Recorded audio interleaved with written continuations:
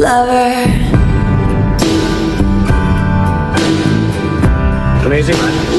Exceeded the expectations. And I think We could let our friends crash.